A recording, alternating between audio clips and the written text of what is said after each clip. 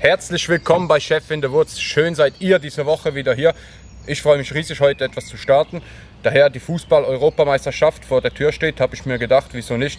Ich packe das Rezept aus von Grill Chill Barbecue und Lifestyle. Verlinke ich euch hier. Die Burger-Käsesonne, jetzt wo wir alle ein bisschen wieder zusammen sein dürfen, passt das perfekt. Gemütlicher Fußballabend, paar Burger dazu. Was gibt es Besseres? Was wir dazu alles brauchen, wie das am Ende aussieht, wie es am Ende schmeckt vor allem, das seht ihr jetzt. Bleibt unbedingt dran. Wieder mal ganz klar, der Hauptdarsteller, das Fleisch. Da habe ich mich entschieden für Hand-Selected Swiss Beef Hackfleisch. Das habe ich gekauft bei Luma Delikatessen. Da brauchen wir ungefähr 1,2 Kilo, das sind es auch.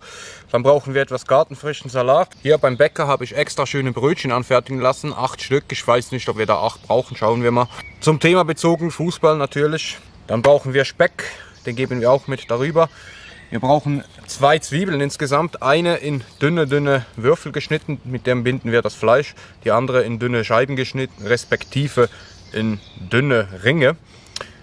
Hier Monterossa Tomaten, ganz, ganz geile Tomaten sind das, vollwertigen Geschmack, ich liebe die. Vor allem sind sie schön groß. Da brauchen wir bestimmt zwei Stück, auch in dünne Streifen. Ich habe hier 300 Gramm wieder Tex-Mex Mischung, den schmelzen wir schön langsam und geben den als Spezialsoße quasi darüber.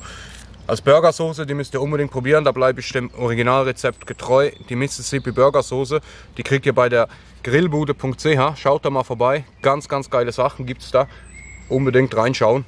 Die Soße übrigens nur zu empfehlen, geil. Ja, wir legen los.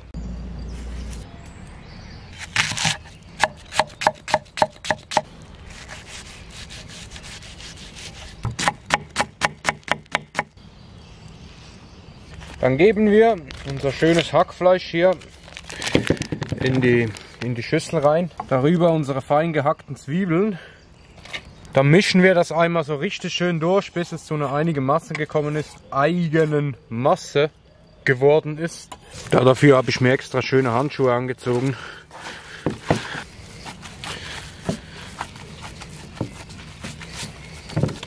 Wir lassen das für ungefähr 15 Minuten ein bisschen ziehen und gehen dann schon auf den Grill damit.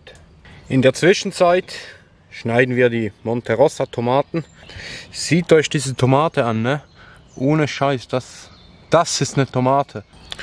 Wir machen das mit zwei Tomaten. Wie es halt so ist mit Zwiebeln, man sieht leider nicht von Anfang an rein. Dieser Teil ja war nicht mehr so gut. Dann schneiden wir die einfach in dünne Streifen und legen die zur Seite. Unser schöner Salat hier hinten. Ich schneide mal vorsichtig mit dem Messer hier rein. Dann nehme ich hier schön ganze Blätter nehme ich hier gleich. Drei, sechs. Da sieht man, wie frisch das Ganze ist. Muss ich noch schnell waschen. Nach getaner Arbeit habe ich hier 1, 2, 3, 4, 5, 6, 7 Blatt Salat. Ich glaube, das sollte reichen. Den Rest nehme ich mit nach Hause. Da mache ich mir heute Abend einen geilen Salat davon. Yes. Ja, inzwischen Zeit schöne 20 Minuten, Viertelstunde vergangen. Unser Fleisch hier. Pete hatte damals so einen schönen einen Pizza, ja wie sagt man dem? Pizzabrett, ein Pizzaspachtel, wie auch immer ihr dem sagen wollt. Würde wahrscheinlich ein bisschen besser gehen, konnte ich leider nicht mehr so organisieren. Sollte aber auch auf meine Weise gehen. Wichtig ist nur, dass das alles schön zusammenhält. Ja, ich habe jetzt hier die Plansche aufgewärmt. Das Fleisch habe ich da ein bisschen geölt. Ich zeige euch das schnell. Ich hoffe, man sieht das. Ich habe da ein bisschen Olivenöl rein, rübergegeben. Man könnte da auch, was auch immer, Rapsöl, was ihr da wollt. Ich werde jetzt dann gleich die Plansche hier auf das Fleisch stürzen, das Ganze mit dem Brett umdrehen. Ich versuche das schön rund zu behalten.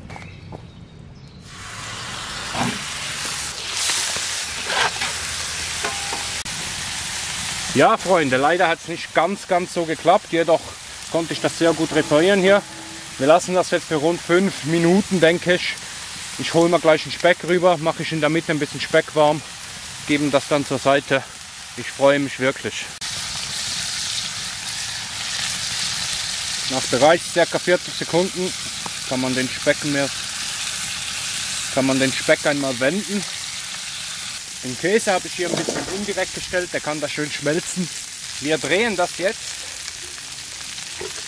Zwar auf dieselbe Art wie vorher.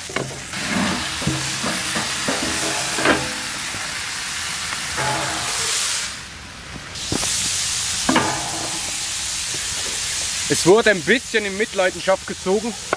Dazu kommt, ich habe mir ein Öl über meinen Oberkörper geleert, als ich das gedreht habe. Ihr seht das dann nachher. Ja, ihr seht, ich habe das schon vorbereitet. Hier sind insgesamt fünf geworden.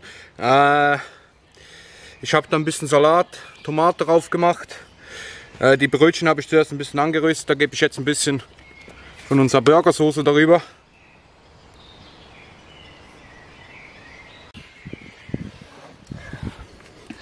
Ja, wie ihr hier sehen könnt, es ist mir leider, leider auseinandergefallen. Wir können das auch einfach hier oben drauf zusammensetzen. Geben wir hier noch ein bisschen Soße darüber.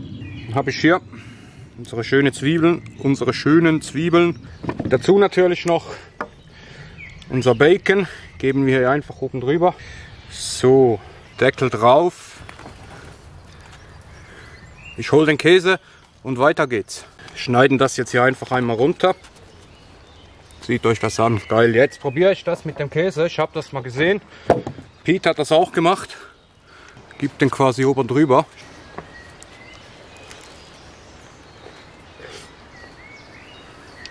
Mmh.